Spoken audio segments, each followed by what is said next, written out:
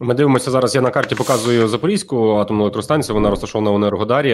Е, всі вже ми е, на щастя вивчили міста, але на жаль, у таких умовах е, вивчили це, де розташовані у нас атомні електростанції, де у нас розташовані теплоелектростанції, тому що за останній тиждень це вже третій момент, третій раз, коли росіяни б'ють по об'єктах е, енергетичної інфраструктури, і ви е, про це вже згадали. Власне, е, що такий енергетичний терор, я би це окреслив в Україні. Відбувається після Харкова.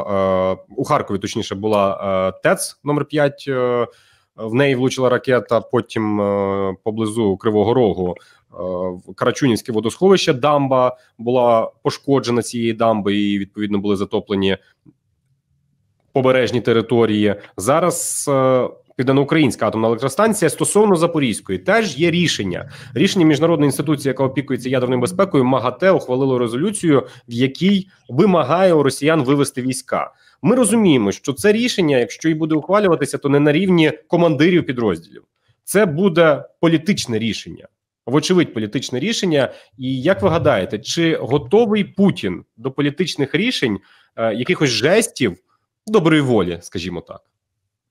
Е, ну, першу чергу, ми е, чітко відзначаємо, що вже є рішення МАГАТЕ, є позиція Організації Об'єднаних Націй. Хоча для нього це нічого не значить, я прямо скажу.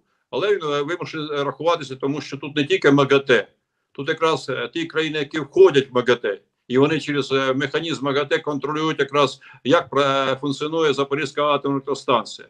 Тут Путін маневрує. Він з одного боку звинувачує Україну, що ми проводимо відповідно акції терору, з іншого боку, е, вказує на те, що він забезпечує безпеку Запорізької атомної електростанції. Фактично, маніпуляція викрита вже я прямо вам скажу всіма засобами, навіть МАКАТЕ, космічними. От е, радіотехнічними, розвідувальними, от і конкретно спеціалістами, які були і є сьогодні на Запорізькій атомній станції. Тобто Путін як ми говоримо, вів, намагався ввести оману і сам виявився так сказати, та людина, яка говорить неправду, але шантажуючи якраз і е, е, е, українців, і весь світ. Тому в даній ситуації сьогодні наступає період якраз того потужного тиску на Путіна на шанхайській групі, про яку він говорить, що це якраз альтернатива Заходу НАТО. Чітко йому казали на ці питання і офіційно, і неофіційно. Дві позиції: припинити війну в Україні висловились всі, включаючи Сінзепіна, прем'єр-міністра Індії, Ердогана, ну зрозуміло, представників навіть країн Середньої Азії. От даний момент е, якраз це дуже важлива позиція. Чому? Тому що Путін завжди рахував, що є альтернатива. І саме гостре питання це була Запорізька атомна електростанція. Всі вказали, що потрібно чітко забезпечити її безпеку, провести демілітаризацію, вивести війська. Отут наступить момент істини. Чи він ще рахує, що шантаж і терор е, буде спрацьовувати, чи все-таки він зробить жест е, доброї волі, як ви говорите, для того, щоб, начебто, показати, що він якимось чином діє в інтересах безпеки всього світу. Я думаю, що зараз, поки він приймає рішення, ще кінцевого рішення немає.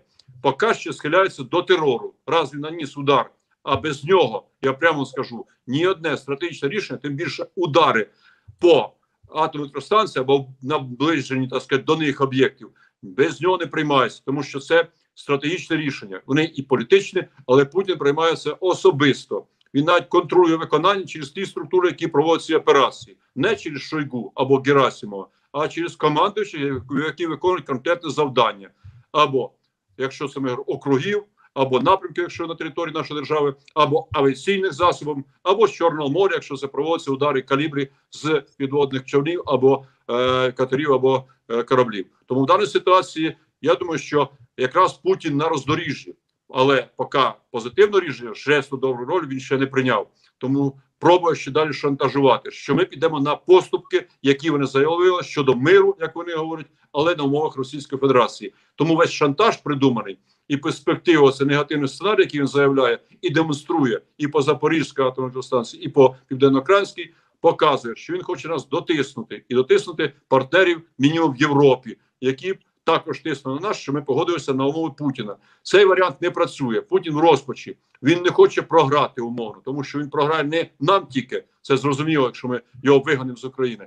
А він програє практично свою перспективу. Це буде початок і кінця, тому що всі зрозуміють, як то ми говорили, король голий. І еліта Росії, яка його ще підтримувала, яка була під ним, або сприяла йому, або навіть погоджувалася з ним, або росіяни, які голосували на підтримку його агресивної політики, це величезний був відкат. А це фактично удар по Путіну, і в нього може бути потужна модель дестабілізації всередині його країни в цілому і в оточенні, зокрема, тому що фактично вже в ньому лідера не побачить той, який дійсно виконує якісь свої наміри, які він навіть агресивно виконує на території держави. І всі подумають про відповідальність як персонально, ті, які дійсно виконують завдання, так і колективно. Це громадяни Росії, які побачать, що Росія буде відповідати і перед світом, і перед Україною, і виплачувати репарації, і відповідно всі заходи політичні, юридичні будуть виконуватися в на противагу тих агресивним діям в інтересах нашої держави і в інтересах цивілізованого світу.